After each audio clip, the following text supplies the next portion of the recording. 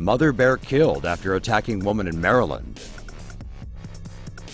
A mother bear in Frederick County, Maryland has been put down after severely mauling a 63 year old woman in the state's first recorded bear attack in decades. Karen Osborne heard a dog barking next door in her daughter's yard on Wednesday night and went over to investigate.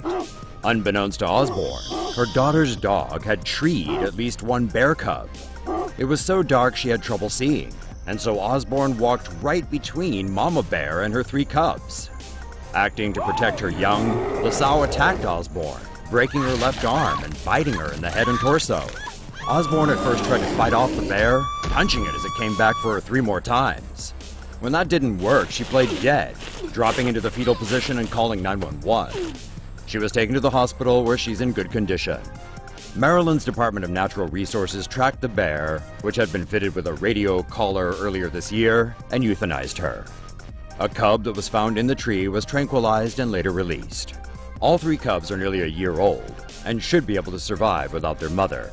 The bear was familiar to local residents who said they were sad she had to go. It was Maryland's first recorded bear attack in 81 years. See a story that really should be animated? Suggest stories to Tomo News now.